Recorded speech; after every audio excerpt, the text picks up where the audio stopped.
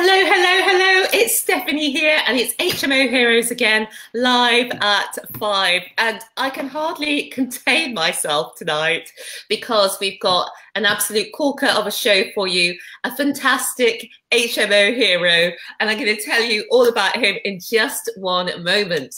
So, for those of you who don't know about HMO Heroes, it's a Facebook group uh, for information, inspiration, and motivation for HMO investors and aspiring HMO investors uh, to join in that conversation. So just search on, on Facebook for HMO Heroes, and we look forward to seeing you over there.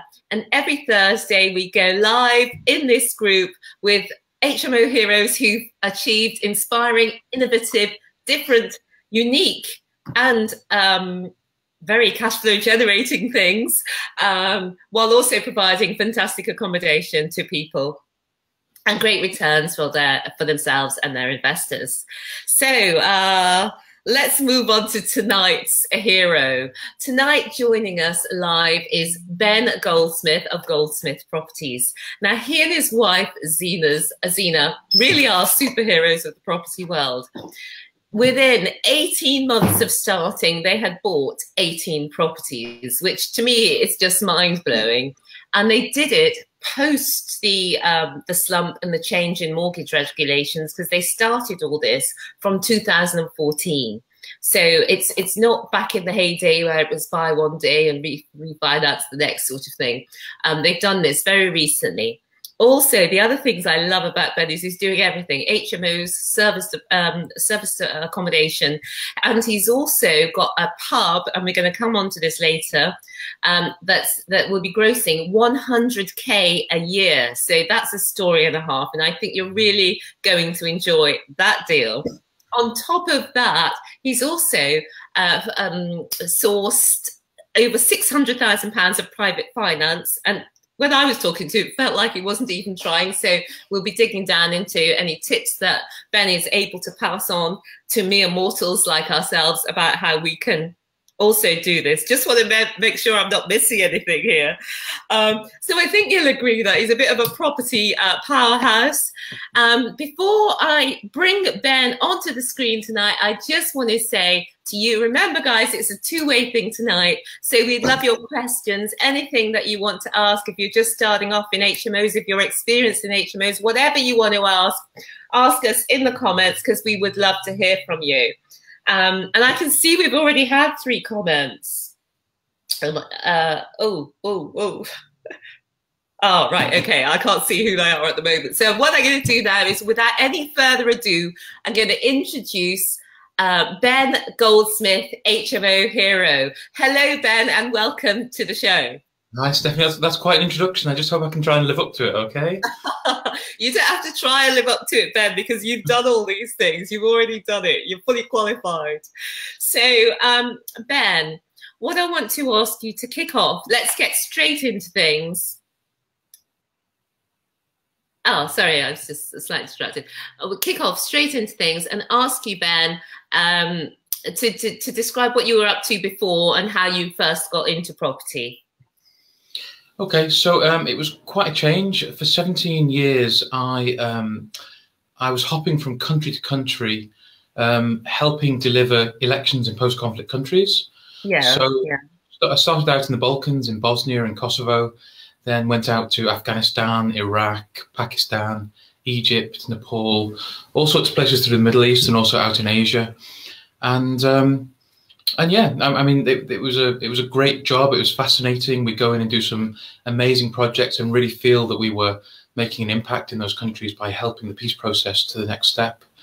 Um, but I, I, managed to acquire a, a wife and, and, children along the way, and uh, obviously priorities change when you when you've got children and a family, and the, the, hopping from place to place just got a bit too much for us. So we thought, let's go back to the UK and let's um, let's uh, you know let's move back there full time and uh, and see what happens. And and we just uh, it was it was almost a, a, chance encounter of an advert that that Zena saw for a two hour property seminar down in Bristol, mm-hmm. and uh, it was it was from the Rich Dad Poor Dad franchise, and yeah. so we went down and we were just sort of blown away by what we saw property could do and what property could do for us. And yeah.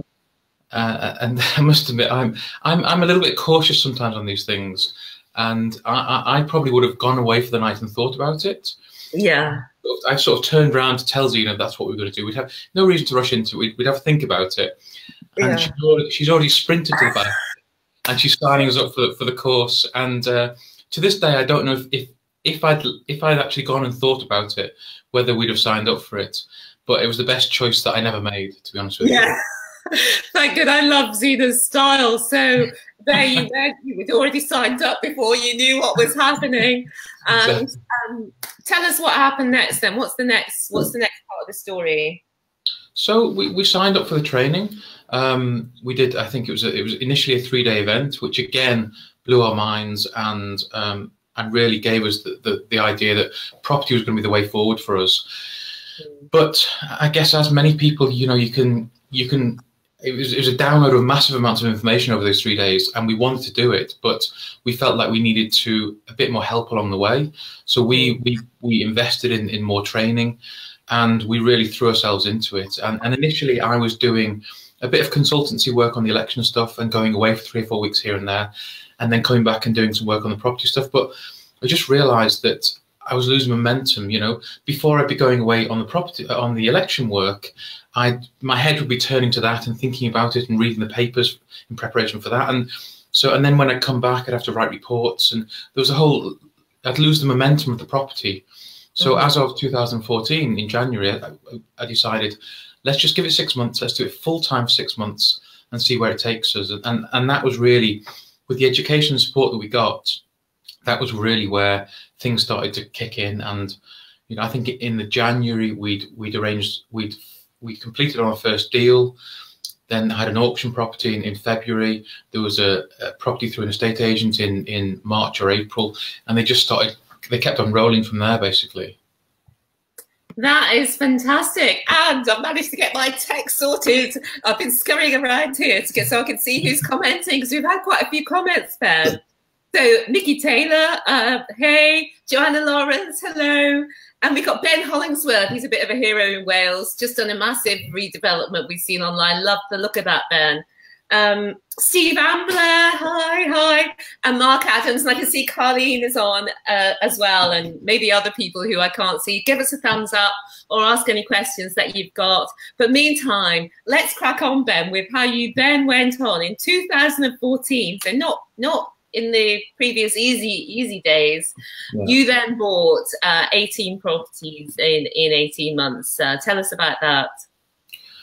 Well, I mean, I you know I, I briefly covered a, a, few of them there. Um, we just we were just keen to build a, a portfolio very quickly, which um, which replaced my income from working abroad, uh, and you know I, we were going to some difficult places, so I was pretty well paid for doing that.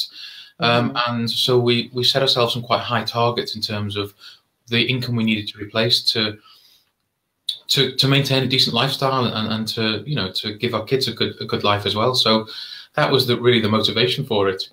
Mm-hmm. That drove us forward in terms of finding lots of deals, and as you say, raising. We didn't have enough money to buy 18 properties in 18 months, so it, we had to go out and uh, and raise joint venture finance um, and and we you know we raised about as you say about six hundred thousand pounds in the first twelve months or so. I mean, since that we've probably raised quite a bit more, to be honest. But um, okay, I've been downplaying it. Well, no, no. I mean that that was certainly what what we used in, that, in the first eighteen months. Um, and uh, and yeah, I mean, eighteen properties sounds sounds a lot, and, and to be honest with you, it was. I, I wouldn't recommend that anyone does that. To be honest with you, because oh, right. it was really hard work. Um, yeah. and, and, I think I, as we as I explained to you the other day, when we got to the end of those 18 months and we had 18 properties, we realized that we'd been doing a really bad job of actually managing the properties.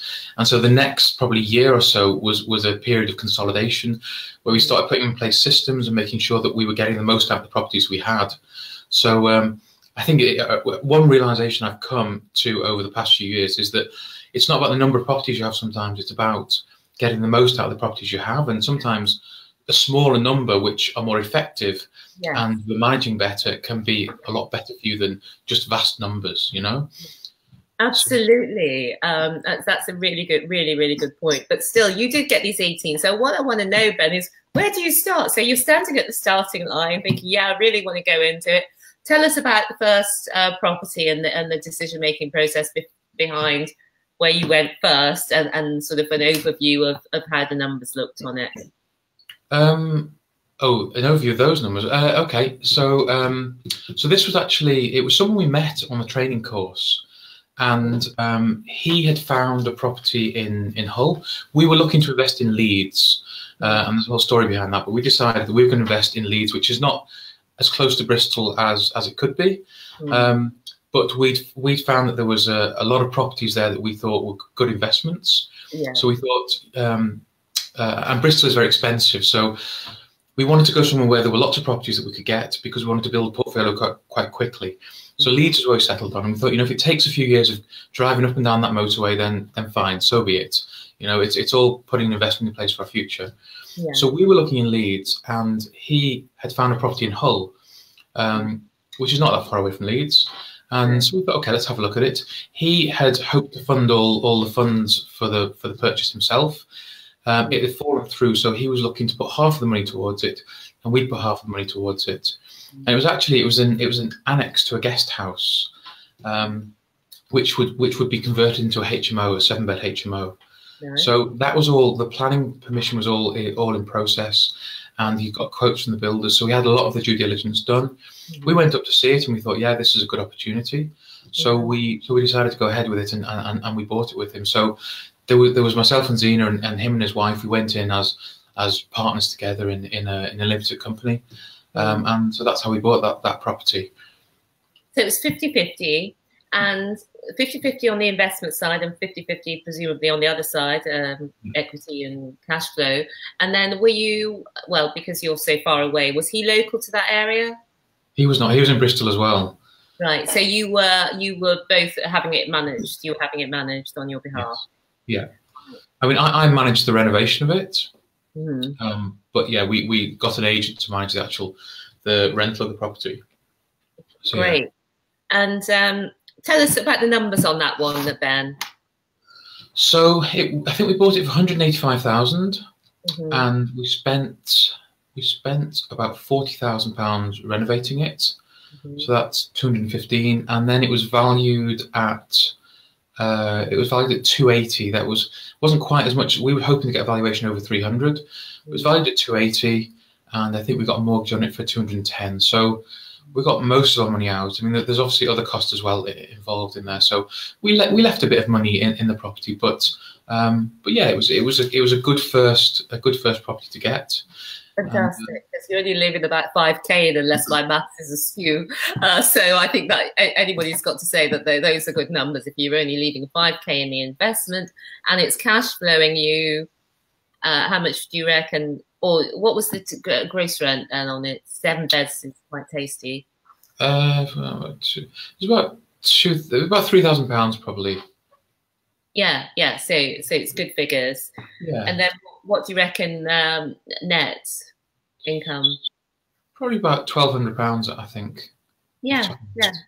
Yeah. So a, a, fantastic, a fantastic little deal. Twelve hundred pounds a month. You've you've made your money left in back within a year. Um, yeah. Can't argue. So uh, so you went on from there, and was it sort of more of the same? It's more the same. We're doing lots of viewings. We had um, I, I really think uh, property is about numbers. Property is all about numbers. It's about knowing your numbers on the properties. So knowing what you're buying it for, what it's going to cost you to renovate it, what the end value is going to be, what you can get on a remortgage, and of course the cash flow side of things as well. What, how much money the property is going to give you every month. So you, you have to know all of those numbers really, really well. But we also played the numbers game in a different way in that it was all about it wasn't about getting hung up and emotionally attached to you know oh we saw this lovely property i think be a great investment you know and being attached to that and really wanting that deal to work mm-hmm. it was about having we, we we aim to have about 40 live offers out at all times wow. so you know you can't get emotionally attached to, to a property when you've got that many offers out yeah. just putting yeah. just churning the offers out going to do viewings churning the offers out and you know they all get they pretty much all get rejected at first but what we found was you keep chasing up with the agents and, and you say, oh, I see that property that I offered on is still on the market, uh, you yeah. know, a couple of months later. And, you know, my offer's still there if, if, if you're interested. And, and sometimes yeah. it would take a year for, for a property to come back to us. But But yeah. we found, um, yeah, doing the chase up and the follow up really was really effective. So I think there's two real key things there, and I would never have guessed this number, but really 40 offers out at any one time, and the success is in the follow up because these cheeky offers uh, normally get refused first time around, and most people are not following up. So great golden nuggets there. Mm. So with the 40 offers, I mean, how many viewings were you going on per week? Uh, what do you think are the magic numbers in if you want to progress at this 18 properties in 18 months, which you don't recommend? definitely don't do it. Um, gosh, how many, how many viewings? Uh, I mean, I was probably going up and spending a couple of days a week in Leeds, and also I, at that time I was working with um, a friend of mine from university. I'd convinced him to give up his job, uh, a very very well paid job as, as a managing director of a manufacturing company, mm. and go move over to property investing. So he he lived close to Leeds. Oh, wow. He was doing yeah. as well. So we, we were sort of we were doing sort of a deal where you know we we put offers in jointly together, and the first one that comes up and gets accepted, he'll take, and the next one I'll take, and then he'll take. Yeah. So um, I I would guess we're probably doing something like I don't know at least twenty viewings a week. I would have thought. Blimey, that's crazy. So 20 viewings a week, 40 offers in any one time, boom, and then you're you're you're moving. And then you you had your first one under your belt, good deal. Uh, how did it go on the refurb? Because that would have been your first refurb you were managing, or would it have been? Was it? Yeah, it was. It was. Yeah, it was. Um, I, I mean, I think I probably of all the builders that I've used, he's been one of the um, the fairest and, and the nicest guys that I've worked with. So that was that was actually uh, it, you know I've had some bad experiences with builders. That was definitely among my better experiences with builders. Um, it went over budget as it always does. Hmm. Um, and particularly with an old building, you, you, sort of expect that when you start when you start doing the renovation, you uncover things that you just can't know until until you start ripping off wallpaper or taking down walls or or whatever. So it went over budget, but not significantly. Probably, you know, within ten percent of what we budgeted, which is which is not too bad to be honest. Yeah. Well, let's move on to. Um, we won't go in order then because you were doing a lot of these sort of deals. You did, you did, but you bought a block of flats. I know you split the titles, but the one that really uh, I found uh, quite exciting was the uh, pub. So, okay. Yeah. story about the pub. Now, guys, this is the one where um, when the when the last phase of the refurb is complete, it'll be grossing one hundred thousand pounds uh, per year. I nearly said per month, one hundred thousand pounds per year. Um, really little investment from from one building. So over to you, Ben. How did how did it all work out? So it, it, this this is actually a very long story, but, uh, so I'm going to try and condense it as much as possible. But basically, this it started out as a rent to rent deal. So um, so we'd sent out letters to landlords, and this landlord came back to us and said, "I've got an eight-bed HMO, um, which I'm interested in you managing for me." And it turns out it was an eight-bed HMO above a pub, and um, we went to see it, and we, we were not sure about it. Mm. Um, and probably if it was by itself, we probably wouldn't have accepted this deal. Mm-hmm. But we knew the landlord had a lot of other properties as well. And so we thought this, this is a gateway into that landlord and potentially other properties. And, and that's the way it worked out. And then we've, we've taken other properties from that landlord because of establishing a relationship on this one. Um, but still, we weren't going to take it because the pub was too noisy. It was making a lot of noise upstairs. Mm-hmm. But he said, well, the lease is coming to an end on the pub. So I'll kick him out in a couple of months and you can take the property then. And we'll develop downstairs into a cafe or something, you know, mm-hmm. nothing too noisy. Mm. So we did that. We, we managed the property for about a year and a half, and um, that worked quite nicely. It, it, a nice rent to rent deal, probably making us about eight eight eight hundred to a thousand pounds a month. Mm-hmm. So nice in itself. Yeah. Anyway, he came back to us about two years later and said, "I'm interested in, in selling the building. Are you interested in buying it?" And, and he had planning permission to convert uh, a storage room at the back of the pub into a one bed flat there was already a studio at the back as well, and then convert the pub into two two bed flats. Mm. And we said, well, I said I'm interested. But two two bed flats are, are not of any interest to me.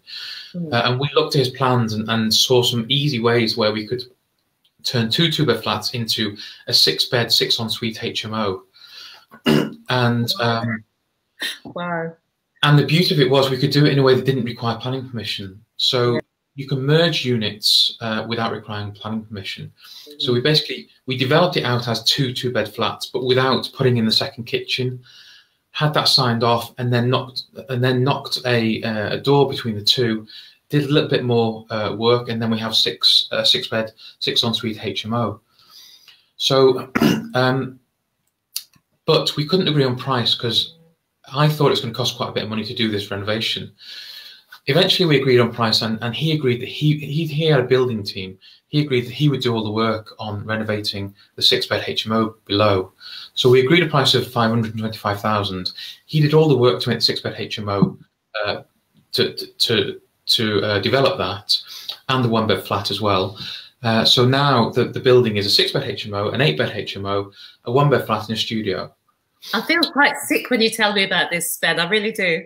But I just want to just call out a couple of things in, in this lot because really this is the reason, guys, why if you're not investing in HMOs, you really should be. Now, Ben, I need to ask you a question. What would be the rental income on the two two-bed flats?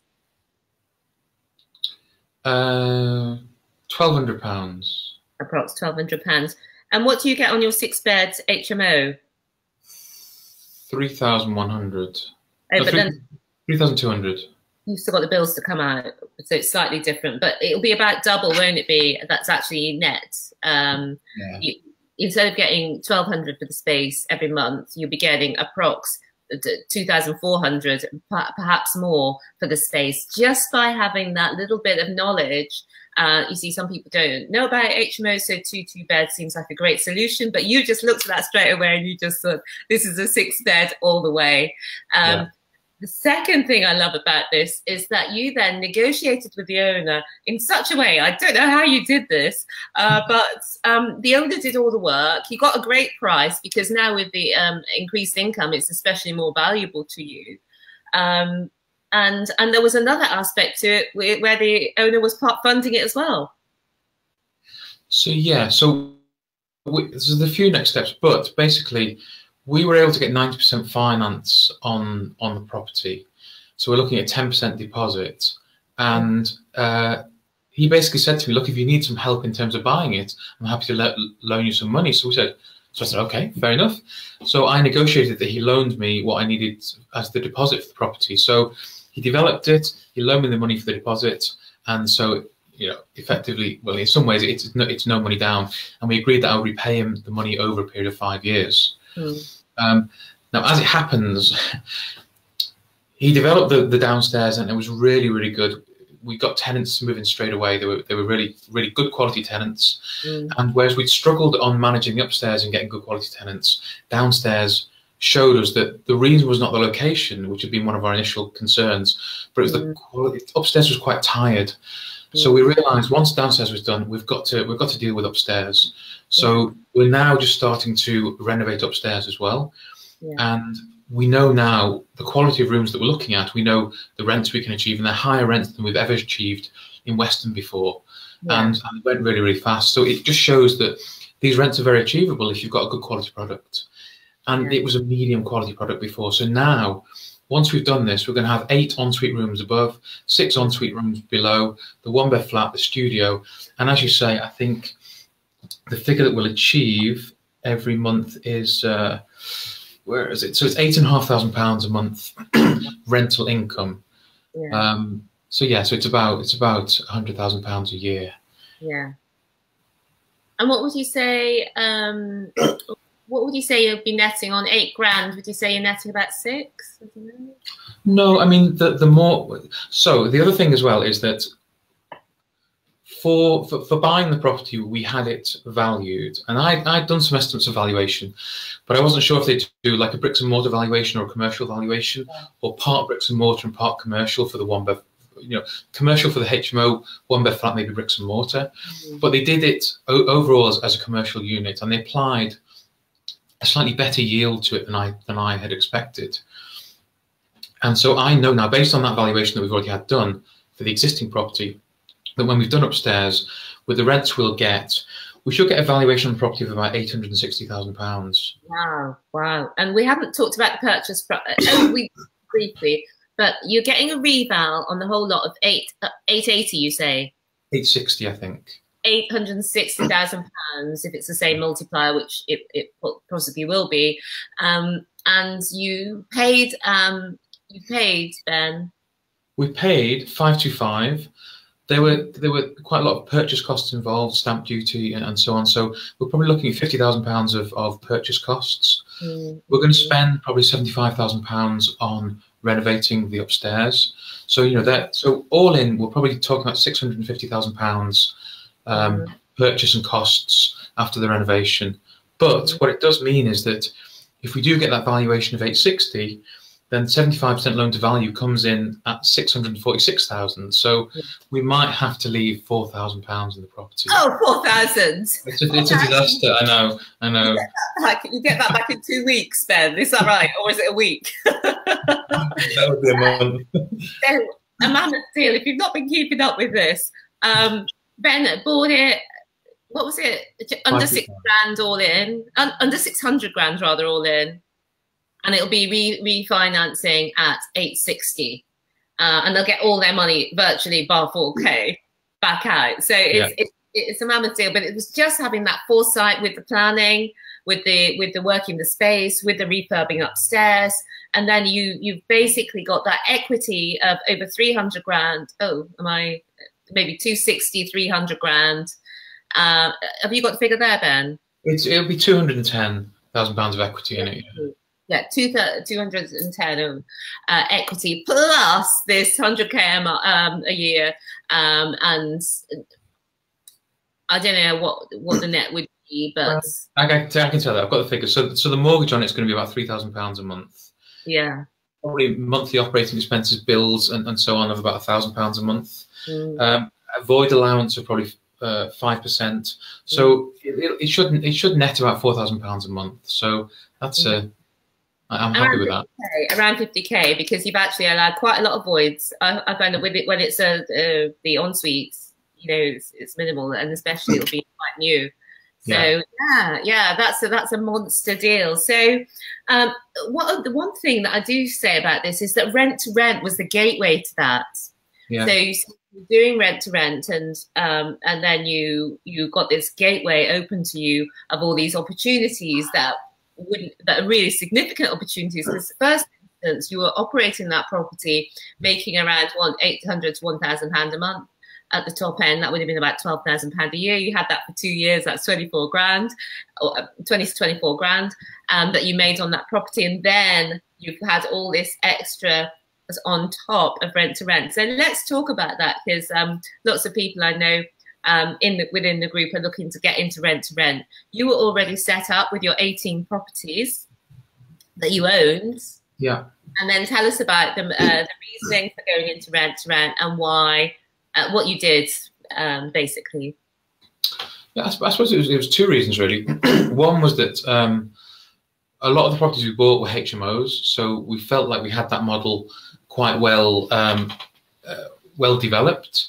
and it, wasn't just myself and, and Zena. I brought in a, a, property manager, brought in someone who dealt with maintenance and refurbishment. So um, it freed me up more time to think about growing the business.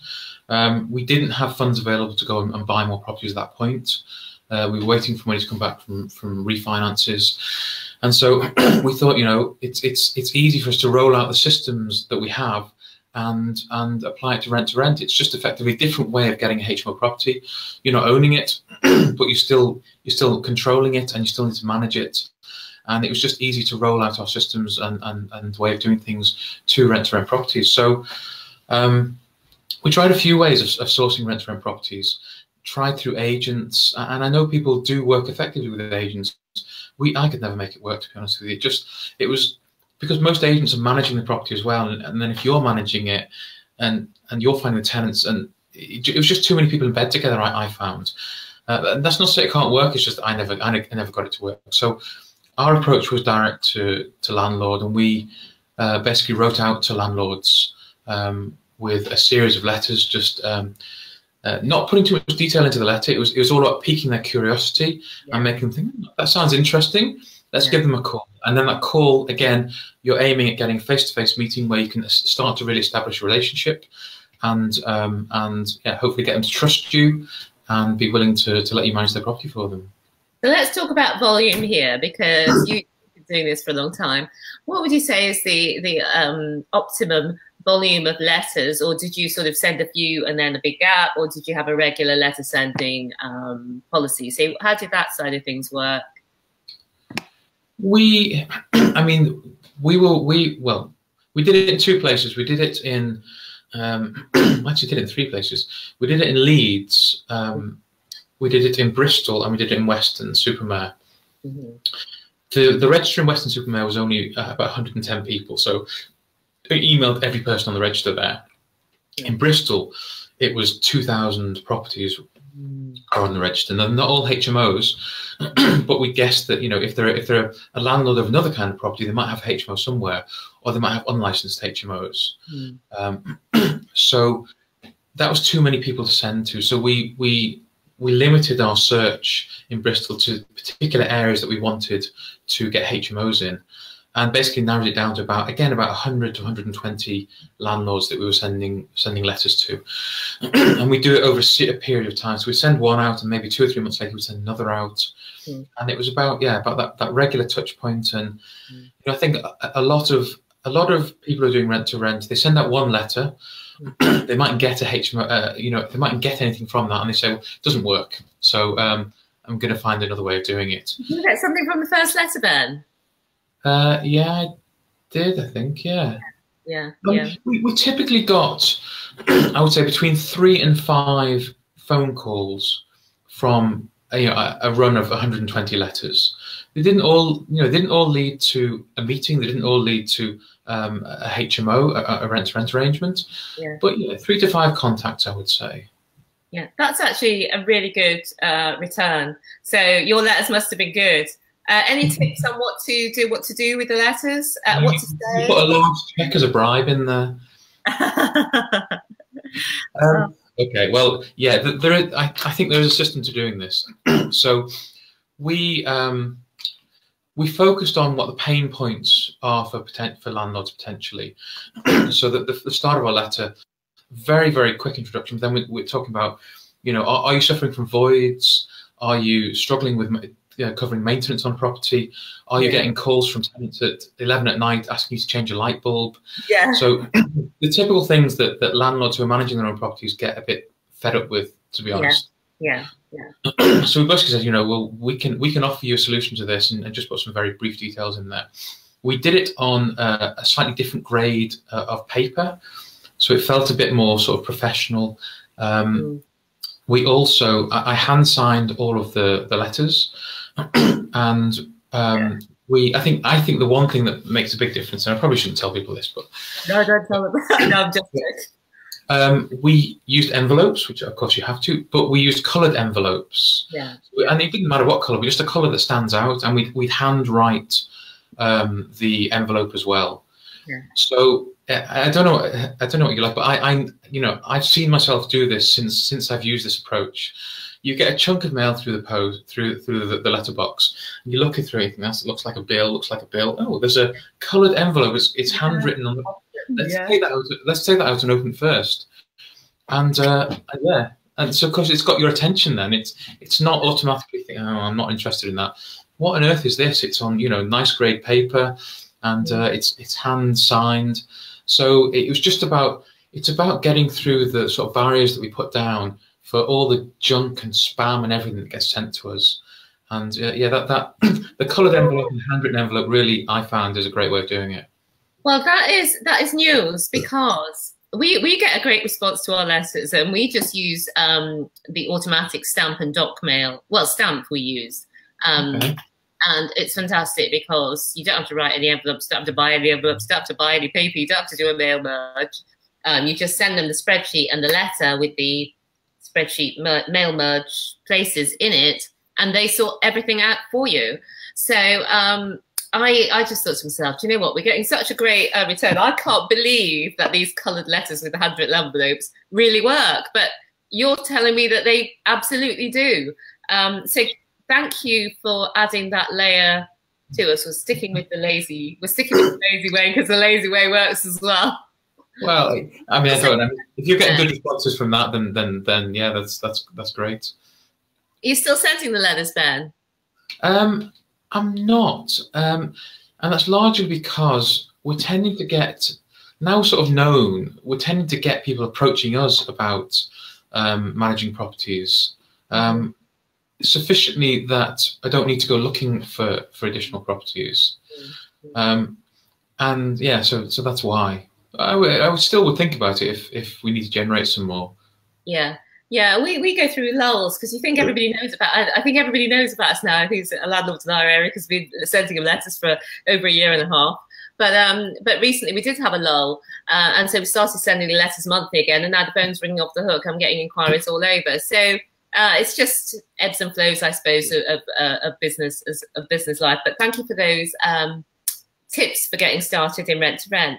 The other thing I wanted to bring out, oh, I'm, I'm spoilt for choice because we won't be able to cover everything, but you've got your you've got your uh, guest house, um, which you bought originally with the intention to turn it into an HMO, but you're running that as an SA, and you never intended to go into SA. So, would you? Would the idea of converting it into a HMO? It was 11 an 11 bed guest house, and um, I didn't think it'd be a problem getting planning permission. Uh, that yeah. proved to be wrong. But, um, so we, we, went to the owner, and, and, he wanted he wanted to sell up. He, would moved to New Zealand and, and, wanted to sell the place. Um, but we were not in a position to buy at the time. And I did see on the sales details there was a little a little line at the bottom saying may consider a lease. Mm. So I thought, okay, fair enough. So what we proposed to him was if was a lease option. So we said, yeah. I'm interested in buying it. Um, I can't do it at the moment, but I, would like to agree a price for it now, um, and we'll lease it until we buy it. So we, we got a five year lease option on on the property, mm-hmm. and he knew that we were planning to uh, try and turn it to a HMO, and he was fine with that.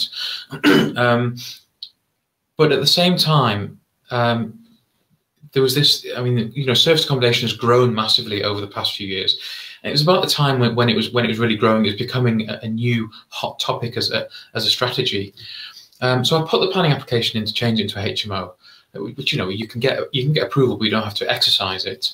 Um, and then so I thought, well, you know, until until it happens, we'll run it as a guest house. And then I thought, there, there are two things I think that um, are hard work with a guest house. One is um, being there the whole time to for when guests arrive. You know, even if guests tell you they're going to arrive at five o'clock, they may not arrive until eight o'clock, or they may not arrive until twelve, or or God knows what time.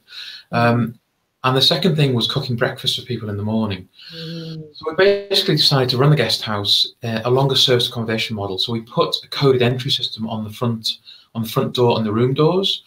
Um, and we've got a system where you can create a code for the person and it's active for the hours of their booking. So from from two o'clock in the afternoon on the day of arrival till eleven o'clock on the morning of the day they depart, and um, so we send them a code by text message and by email, and that code gets them in the front door and, uh, and the room door. So that means we don't have to be there when they arrive. and then we decided we're going to sell the rooms as room only, no breakfast. But what we're going to do is give them breakfast, but it'll be in the kitchen. They have free access to the kitchen the whole time. They can use it to cook meals. Um, and we'll put cereals, milk, fruit juice, bread, and spreads for, for toast in the kitchen, and they just help themselves.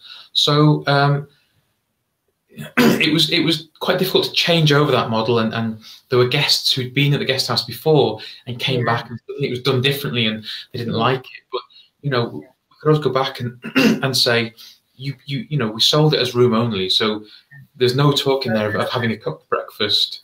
And uh, but it did. There was a lot of a lot of um, change management, I would say, in doing that, and we had to. We realised that we had to manage people's expectations because they may have been returning guests and expected yeah. things differently. So um, so yeah, so that's that. We've been running that for two and a half years now, and that's it's that's that's really good business. I mean, that probably it, it brings in about 135,000 pounds of of revenue a year. Uh, but that's revenue. Don't, don't get excited by that. Yeah, um, yeah. There's a lot of costs involved. Um, yeah. We probably make about about two two and a half thousand pounds a month off that. Um, yeah. And it is it, it is it, there's a lot involved in it. To be honest with you, um, but it, it's funny we did it that way because just like we jumped in the deep end with buying properties and bought a whole load straight away, you know, looking back, we did exactly the same thing with serviced accommodation. That's 11 units of serviced accommodation. I know they're all in one building, but instead of just doing one one serviced accommodation flat and learning that way, we yeah. we really jumped in the deep end and and uh, you know 11 units all in one go. Yeah. But 30 grand a year net is is actually really good after all the costs, which are many and various. Um, but yeah, it's it's it's not bad. It's um, I'm not sure whether I'm tempted to go down the service accommodation route at all, but um, but it's nice. It's another property that's really uh, cash flowing well for you, and that's just two amongst your many, many, many. However, let's come on to another thing which really uh, interests me, and I know that a lot of people I think will be thinking about whether they're just starting up or they've they've been going for a while, especially if they're doing it on their own is when to get up to uh, when to bring somebody on and how to bring somebody on. And because you have a team now of five then yeah.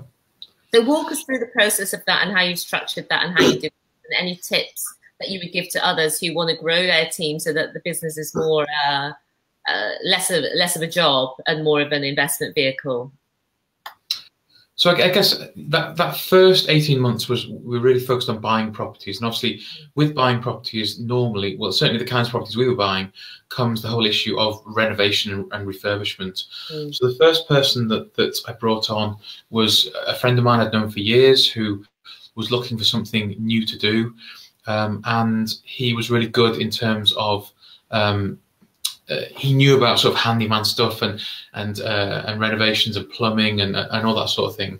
So um, he came on board really to help manage the sort of spec, you know, spec out very well and manage the, the renovation and refurbishments that were happening. And then obviously as, as properties came on board, he, he moved more into sort of maintenance side of things and, and, and, managing the whole maintenance of properties. So he covers both things now. Uh, and, and he's managing the renovation of the pub, the top floor of the pub, Mm-hmm. Um, and um, so he was the first person we brought along. Uh, the second one was, as I said, at the end of the 18 months, I realised that we'd been good at buying properties, but not, I hadn't done very well at managing them. Mm. And that was partly just because of complete overload on my part. Yeah, um, yeah. So the second person I brought along was a property manager. Um, and I advertised for this. I advertised on a website called Indeed.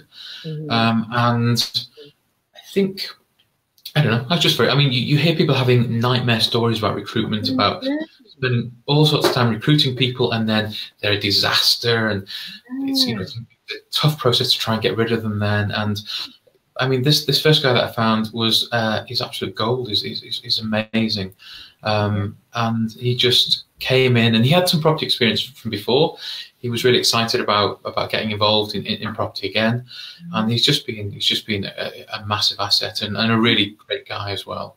So, had him for is it three and a half years, Ben, with yeah. you? Yeah. Yeah, I, I, think that's that's a really really great story, and you've taken him on as a, a full time permanent employee, haven't you? Yeah, yeah, and he actually um, he actually um, during the week he lives down in Weston and he's actually got a, a, room in one of our properties there, so I give him it very cheap.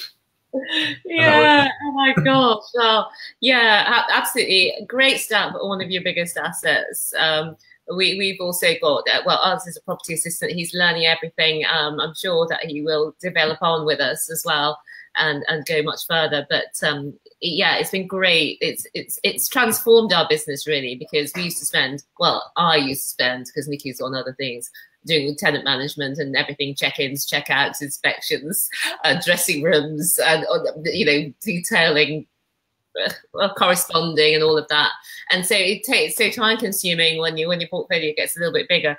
And so it's great to have somebody in who's learned our systems who knows what to do who's great with the tenants. Um, so kudos to you because three and a half years is is really good. I think you must be doing something right then. The rumors maybe are, are untrue. So tell us who, who else you've got in your team.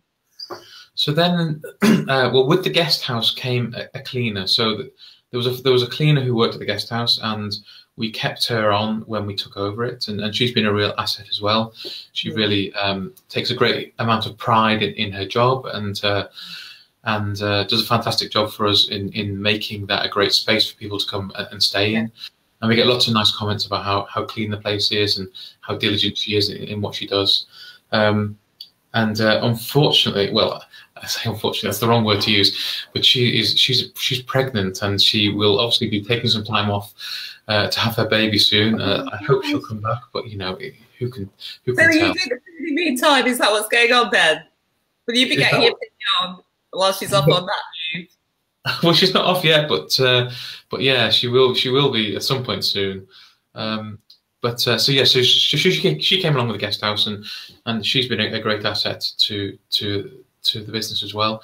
And then uh, shortly after we got the guest house on, what I didn't realise, I guess, about service accommodation is, and particularly taking 11, 11 units or eleven rooms on at the same time, um, it, it's uh, there's you know eleven potential guests to deal with, and you know, it, it should service accommodation when, when they tell you on courses they tell you that service accommodation just it's just it just happens you know and and uh, bookings come in magically and ching the money comes into your account and the guest arrives and they're happy and they leave and they're ecstatic they write a nice review and you just sitting on the beach with your laptop or, or whatever just watching the money come in having a cocktail yeah. It, i mean of, of, all the strategies that we do service accommodation is the most hands-on and the most intensive because all of those steps that i just talked about in principle can work like that, but in reality, you know, guest credit cards fail. You have to call them.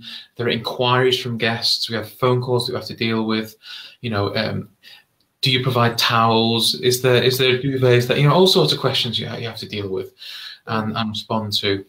Mm. We have problems with sometimes with with, with problem guests who, who make a, a noise and, and disturb other guests. We, have we've, we've had all sorts. I mean, uh, running a guest house in Weston-super-Mare for two and a half years.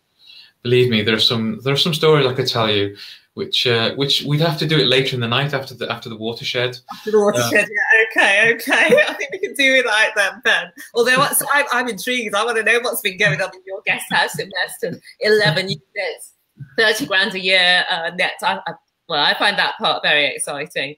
Um, but uh, I'd love a strategy that would let you keep more of the 135k that comes in. But um, right um, now, I wanted to talk about your best deal because I mean, I can't believe that there could still be another deal that's better than these these ones, the, the big ones that we've been talking about. But there is. So, um, do you want to wow us with that? Yeah. Um, so this was actually, I think it was the second one that we that we that we bought and it was an auction property in in Leeds, and um, and there was it was it was actually a landlord who had gone bankrupt, and the, over a series of auctions, they, they, were putting all of his properties uh, uh, up for auction, and I tried to get a few of them, but being outbid.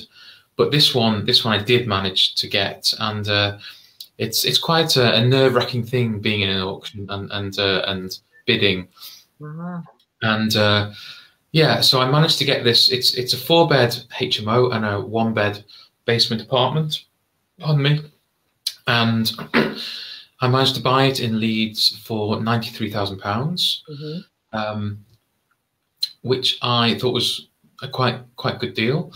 Now there were a few complications with it, and and um, I had to do a bit of work to get to the end result. But the end result was that it was valued at two hundred and five thousand pounds. So we managed to re- remortgage it, uh, get a mortgage of just over £150,000 and effectively take about £50,000 out of the property. Um, now, we had to, as I say, we had to do a few things, you know, to get there. So it was in an Article 4 area, which, which uh, probably a lot of, maybe everyone knows about, anyway, it's a restriction on, on, on creating HMOs. Uh, and this, so this was a HMO in an Article 4 area. It had never gone through the planning process, but it had been in existence as a HMO before uh, Article 4 came in came into place in Leeds. Uh, so what I had to do was I had to go and prove that to the council, and that was a bit more difficult than I'd expected. I had to go back and show council tax, try and get council tax records to show that it, it you know, it was being run as a student property all the way back before the uh, before the Article 4 direction came in. I did manage to do that. So then we got that through the council as a certificate of um, certificate, certificate of lawful use, I think it was.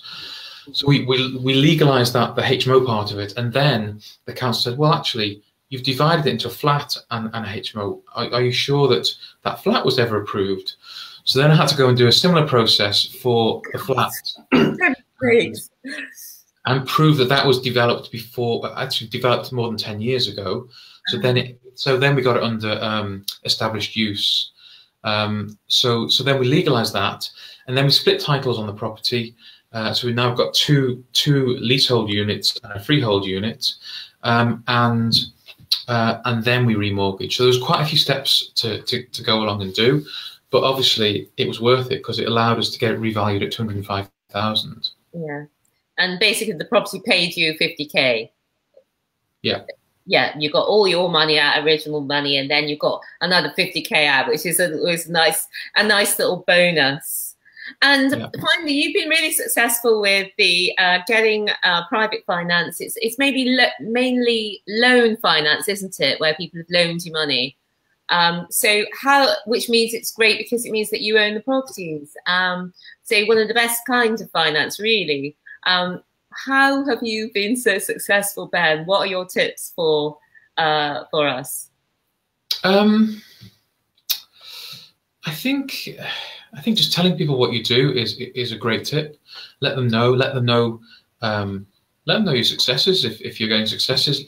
Let them know the opportunities. Um, I mean, I think you know, particularly with uh, if, if people have got money and it's in a bank, you know, what, what is it earning them these days? Half a percent, a percent if you're lucky. I don't, I don't know what an ISA gets these days. Maybe it's two percent or something. Mm-hmm. Inflation uh, is two two to two and a half percent at the moment. So just leaving money in an ISA or in the bank, you're actually losing money because the value of that money is getting less and less. So I think you know eh, the the smart people are looking at at what to do with their money if they've got spare money and realizing that sticking at the bank is not not a great option. So I think there's an opportunity there. I think I think you'd be surprised sometimes who has money squirreled away somewhere that could be used. And I think, you I mean, obviously, you've got to have a relationship with that person. They've got to trust you because they're giving you money. And, and, and, you know, the worst case scenario is you could lose that money and they wouldn't get it back. Hmm. But I think there are, there are ways of, um, if that's their concern and, and it's a legitimate concern, sometimes their, their relationship will, with you will, will mean that they're not too concerned about that because they know you'll do the right thing. And then, you know, hopefully you will do the right thing. But if they still have concerns, there are ways of getting around it. So we've secured loans uh, as a second charge or a restriction on the title on other properties before where, where, we've got equity in them. So it gives them the added level of security. So I think, you know, that there are ways around many people's concerns that they might mm. have about loaning you money. But I think the, the important thing is to understand what it is that they want. Some people, it's all about, it's the, ret- I'm just interested in the return. As long as I get my money, then that's all I'm interested in. Other people are less interested in, in the return and what you're going to offer them. and more interested in it being a secure investment and maybe having a charge or some sort of security. Yeah. So it's about understanding their situation and, and meeting their concerns. I think that's very important.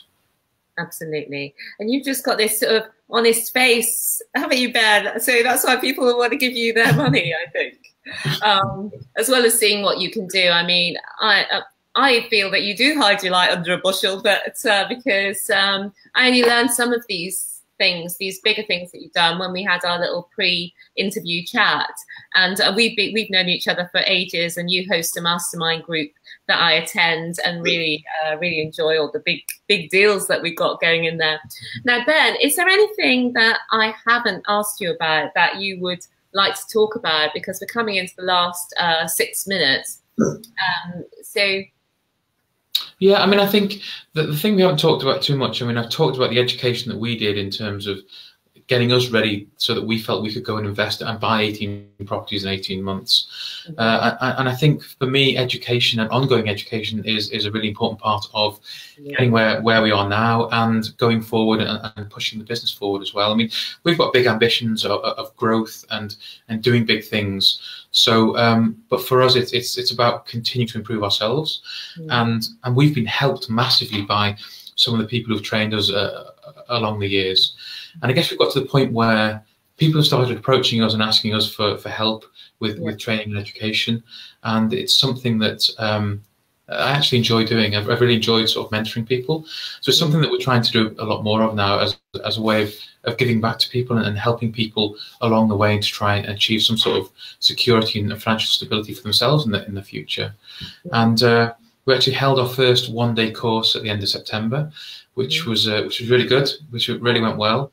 And uh, yeah, so we're, we're holding some more one-day courses, and, and, we're very keen to to work with people who might be interested in in taking the next step in property and helping them along the way to do that. Fantastic, and you know, as you can hear from what Ben's taught, taught you uh, talked about today even. Um, you know you'll get the advice on how to know whether whether property's a good deal how to get some of these monster deals how to be able to have that vision to see that you know this this old pub could be a, a six bed hmo an eight bed hmo and i think a flat as well. And and how you can sort of generate that extra revenue from a building while still also be creating that quality product. And also uh, ben's also an expert uh, as he's he's got so much private development private development finance, private investor finance, even himself, that he can steer you along the right lines with that, which is where a lot of people do struggle. So, Ben, have you got dates for the ones that are coming up that people might be interested uh, to attend? So the next date is in Bristol. It's at the Holiday Inn in Bristol on the 3rd of November, Saturday the 3rd of November. Mm-hmm. Uh, it's a free event. It's a, it's an all day event from 10 till 4 where we cover sort of the, the foundations of, of successful investing. Um, we're doing it as well in Birmingham on the 24th of November. And I think we're also going to try and do a date in London on the 1st of December. Um, and then we've got, sorry, go on. If you post these links on as well, please, um, the dates and the links, um, you know, yeah. in the please, I can then post them into the uh, into the video edits so that people watching this after the live. If you watch after the live, if you've got any questions or queries, you can put those in the comments. Tag tag tag Ben and I'm sure he'll be able to answer afterwards. Um, but I really uh, encourage you, if you're thinking about getting started in property at all, um, go along to this free day, spend the day with Ben and find out what the first steps are and you know, take take your first step um, towards uh, creating the wealth that you want in your life, so that you can design the sort of life that, that you want. Yeah, yeah, we'd love to have people along, so so please do. Great. Well, thank you. Uh, anything else, Ben, before uh, we sort of call to a close? I think, so. no, I think we've covered, covered most things, yeah. Yeah, no, no, it's been amazing to have you along. Really love what you've achieved and how you do it. And you also uh, stay so humble and you, you have got that lovely giving. Oh, somebody's put a lovely comment. Oh, thank you, Steve. Steve Ambler says, terrific interview, guys. Hugely informative. Many thanks. So thank you, Ben, because that's for your contribution and for coming on, giving up your time to talk to us or inspire us as to the sorts of things that we could uh, be doing. So we'll put the links to, what's your course called? It's called ben? Foundation Property Investment we'll put the links to foundations in property investment. Um, eventually, they'll be next to the uh, video in the notes. Um, once Ben's, put, but Ben's going to post them in the group as well. So just click through on there, book yourself on. It's it's a free day out if nothing else, and I really feel you'll find it you'll find it valuable. Um, so thank you, Ben, for coming in. Thank and, you I will see you all next week, guys. And we've got an amazing guest coming in next week, Milesh Lakhani, who's put his um, latest deal on the group, which is a commercial uh, property that is taken to 20, um, a, an HMO, a 20 unit HMO um, gone through planning, um, recently started in property only two years ago, um, has already got four HMOs, and now he's moved on to this massive HMO. That's going to be a great story, a great interview. So do join us here next week for that. And um, once again, thank you, Ben. And it's goodbye from Ben Goldsmith at Goldsmith Property, and goodbye from me. And I will see you next week, guys. Bye for now. Bye.